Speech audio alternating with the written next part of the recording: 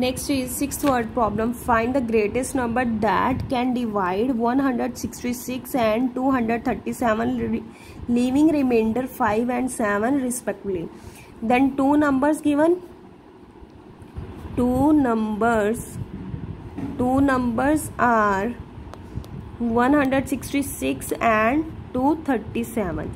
Then 166 minus 5 5 subtract from 166 uh, 161 then 237 minus that 7 remainder then 7 to 30 now find their HCF 230 is the greatest then 161 right outside 230 right inside.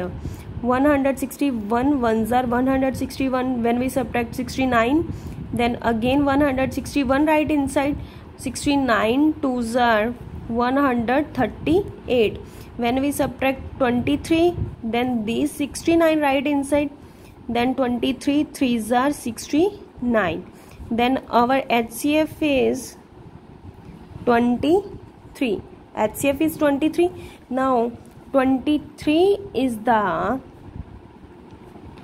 greatest number greatest number that can divide that can divide 166 and 237 leaving remainder leaving remainder 5 and 7 now our exercise these mcqs do by self on your book. Other all word problems do on your notebook. Our exercise 3.4 completed